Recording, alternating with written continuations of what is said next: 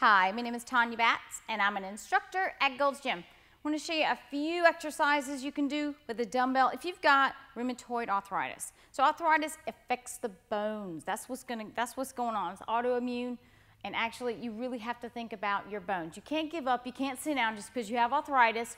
You've got to use dumbbells. This is actually the best defense against arthritis we have today.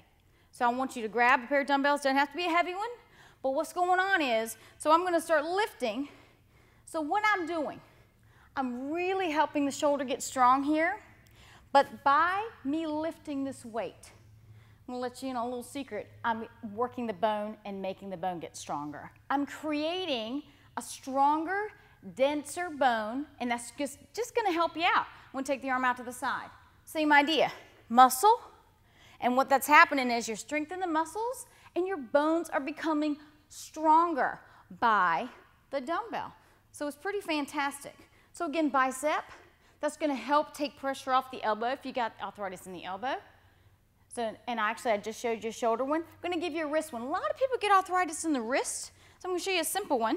And I want you to do one arm at a time, one leg at a time when you're working out. Got my arm here right against my side. I'm gonna lower and lift. This is a lightweight. You sure enough can go heavier. But I'll tell you what, it's a simple move. It's strengthening the forearm muscle, which is gonna make that wrist stronger. Two more.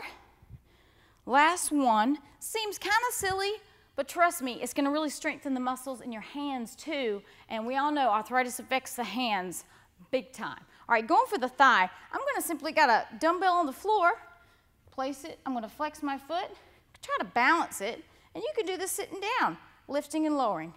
I'm strengthening the thigh, and that's gonna take pressure off the knee.